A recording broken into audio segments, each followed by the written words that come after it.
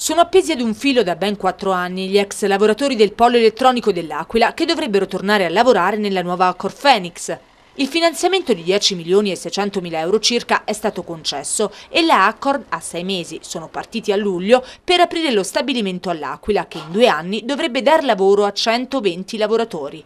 L'Accor Phoenix ha posto però un vincolo che i capannoni industriali diventino di sua proprietà. E mentre il commissario Vidal per la parte di Fimmec si è attivato per pubblicare un bando, nella parte di proprietà del comune al momento resta l'affittuario che ha un contratto di 10 anni, dunque quel capannone va ricevuto al comune. Abbiamo chiesto un incontro prima delle ferie a Corfenix per capire meglio com'è la situazione noi del sindacato, eh, ci hanno promesso che a settembre eh, facevamo questo incontro, ad oggi ancora non vediamo nemmeno l'azienda che ci convoca per discutere queste problematiche. Sembra essere questo il nodo, resta il fatto gravissimo dei quattro anni passati, denunciano i sindacati, e il rischio che poi alla fine non si faccia nulla. Il tempo vola, eh, noi siamo in attesa, tengo presente che ormai andiamo verso i quattro anni, e comincia a diventare una situazione, eh, noi ci auguriamo che nel breve di pochi giorni il Comune perché sappiamo che da parte di,